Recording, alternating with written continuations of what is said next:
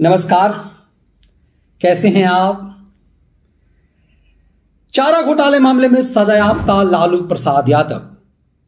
पहले अपने परिवार कुनबे में अकेले सजायाफ्ता अपराधी थे। चार सीटेड भी अकेले थे।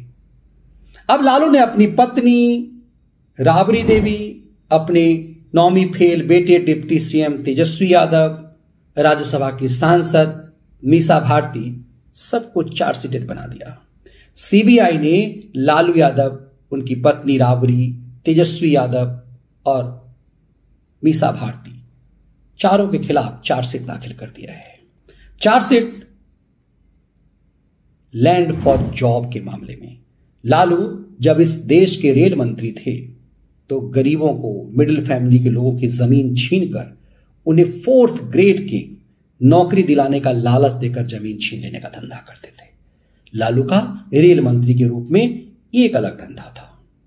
इसी मामले में सीबीआई ने चार्जशीट दाखिल की है। इसी मामले में सीबीआई ने तेजस्वी यादव से पूछताछ की थी। राबरी देवी से पूछताछ की थी। तेजस्वी यादव का वो शानदार घर कोठी दिल्ली में दिखा था, जिसमें अपनी पत्नी के साथ मौज ले रहा था वो। और वो घर किसके नाम है, ये गुमनाम था।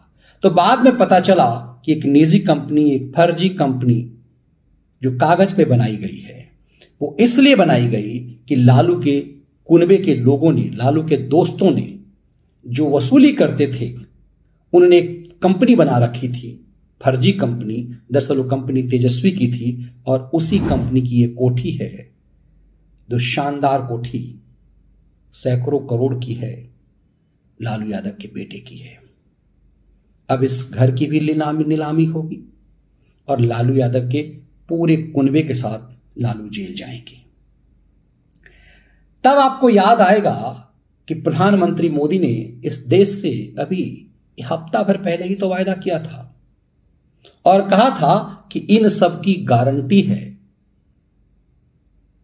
20 लाख करोड़ की बेईमानी की। तो मेरी भी एक गारंटी है। सुन लीजिए प्रधानमंत्री क्या कह रहे थे। करना है। क्या ये घोटालों की गारंटी को देश स्वीकार करेगा? देश स्वीकार करेगा? लेकिन दोस्तों, मैं आपके बीच में से पल करके बड़ा हुआ हूँ। आपसे साथ काम करते करते आपने मुझे यहाँ पहुँचाया है। तो आज मैं भी एक गारंटी देना चाहता हूँ। दे दो। दे दो। दे दो। अगर उनकी घोटाले की गारंटी है तो मोदी की भी एक गारंटी है।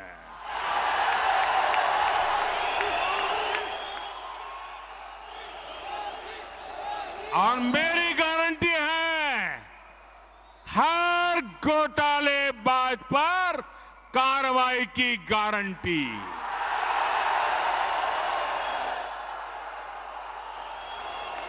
हर चोर लुटेरे पर कार्रवाई की गारंटी। जिसने गरीब को लूटा है, जिसने देश को लूटा है उसका हिसाब तो हो करके रहेगा।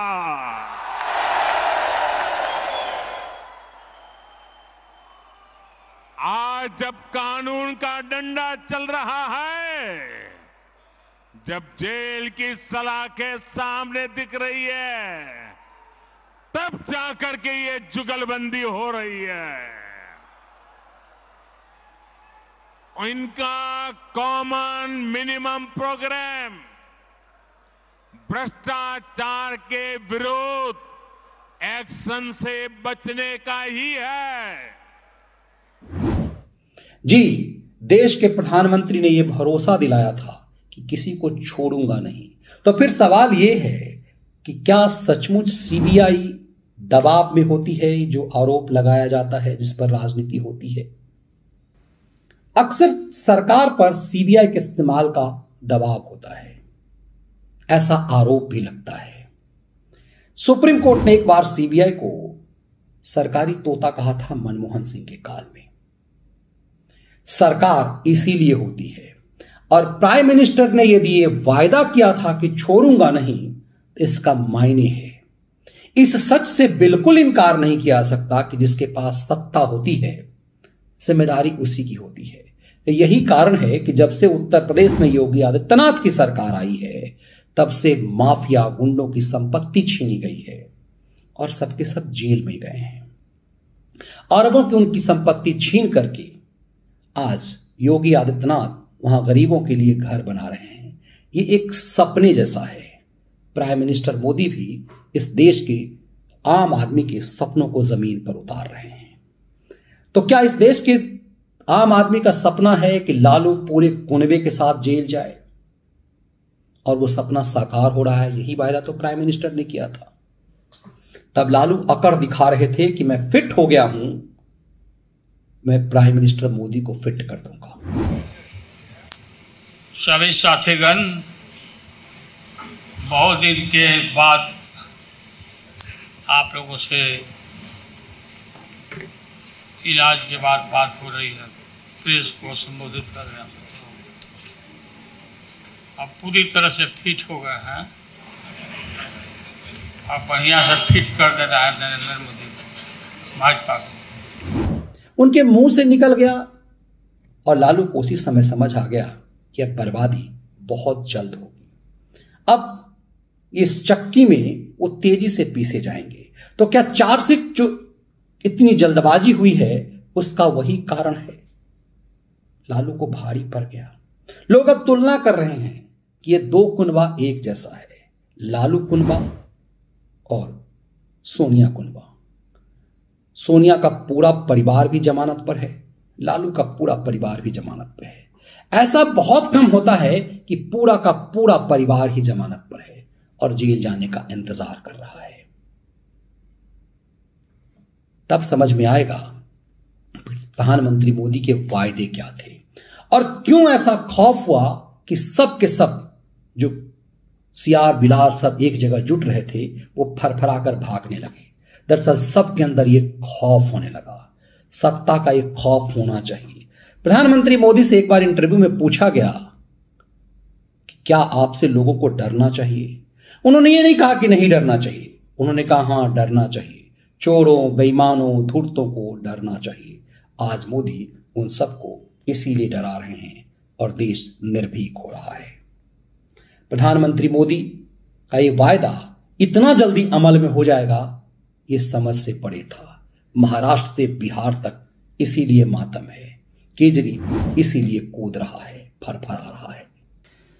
निश्चित रूप से प्रधानमंत्री मोदी के इस एक्शन के बाद ऐसा लग रहा है कि लालू का कुनबा अब पूरी तरह से जेल जाएगा।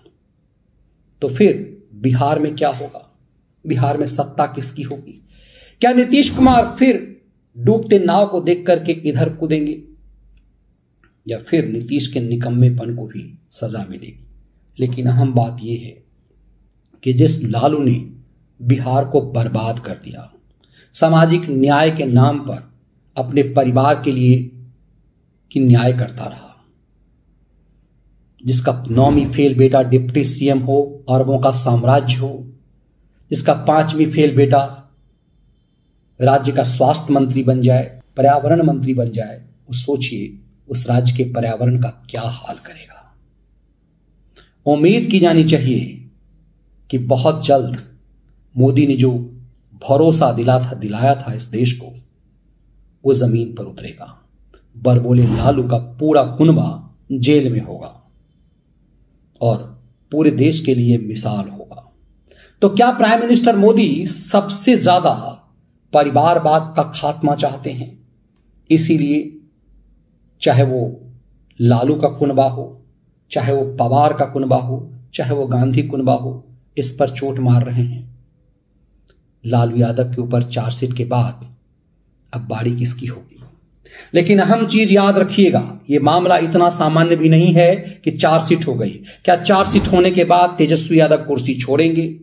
लालू प्रसाद यादव के खिलाफ जब चार्जशीट हुई थी चारा घोटाला मामले में तो एक प्रेशर बना, उस समय वो खुद को किंग मेकर कहा करते थे। प्रधानमंत्री थे देवेगौड़ा, और देवेगौड़ा को उन्होंने धमकाया था कि तुमने चार्जशीट करवा दिया सीबीआई से। तब भी सरकार ही सीबीआई चार्जशीट करती थी, ये समझ में आता था। देवेगौड़ा के घर पहुंचकर भी लालू ने धमकाया था तो देवेगौड़ा ने उस समय कहा था कि मैं इस देश का प्रधानमंत्री हूँ, तुम्हारा भैंस नहीं कि जब चाहो तब कहीं हाँक दो। लालू को तब समझ में आ गया था कि उनका खेल खत्म हो चुका हुआ है। और फिर उन्होंने इस्तीफा देकर के खुद जेल चले गए, बीवी को बना दिया। तो तेजस्वी अब जब जेल जाएगा तो किसे सत्ता थमाएगा? तब तो प्रधानमंत्री थे देवेगौड़ा। सब कुछ आसानी से हो गया। क्या मोदी युग में इतनी आसानी से जेल जाते अपने बेटे की सत्ता तेजस्वी की बीवी को थमा देंगे? ये खेल क्या होगा? ये दिलचस्प है। देखिए इन बेईमानों की टोली का मोदी अब क्या हाल करते हैं।